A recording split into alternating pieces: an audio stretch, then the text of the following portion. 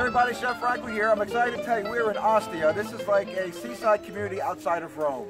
You can look out here, you can see all the beautiful boats. We're sitting literally right along the uh, the shore. Stumbled across this place. I was talking to the gentleman at the front door. He assured me we were going to have a wonderful meal, and we are. Look at the focaccia. He made this focaccia as I was watching him. Literally took the dough, threw it in the oven. Really nice and crispy, nice and salty with some herbs. I had a few before. I'm telling you, this is seriously tasty. Then we saw some stuffed zucchini flowers, and I want you to show you the inside. He said they're stuffed with anchovies and mozzarella. So let's take a look. That look, does that look gorgeous? Take a good look at that. See? Wonderful. And the best thing so far is this saute white wine and clams and mussels.